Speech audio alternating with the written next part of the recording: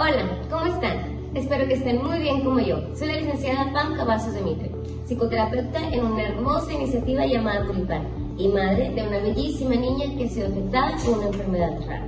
El sábado 6 de marzo estaré presentando para Iberoamérica el simposio que la red conectiva ha preparado sobre la atención integral en enfermedades raras, en conmemoración del Día Mundial de las Enfermedades Poco Frecuentes o Huérfanos.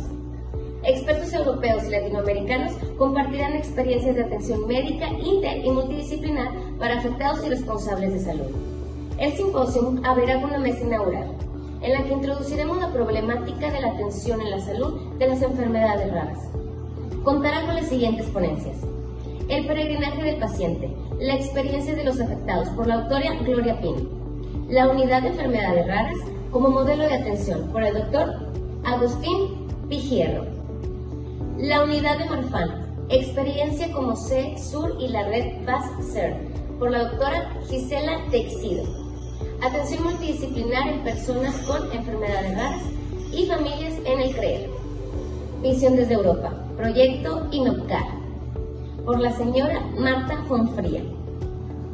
Plan Nacional de Prevención, Diagnóstico, Atención Integral de la Salud, Tratamiento, Rehabilitación y Monitoreo de las Enfermedades Raras o Huérfanas, del 2021 al 2024, por el doctor Walter Navarro.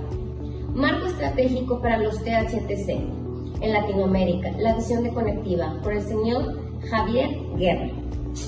Recuerden la cita, el sábado 6 de marzo a través de YouTube, en directo y en abierto.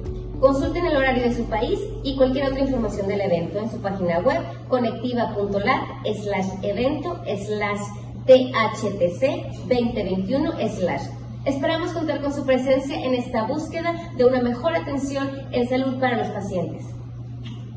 Bendiciones.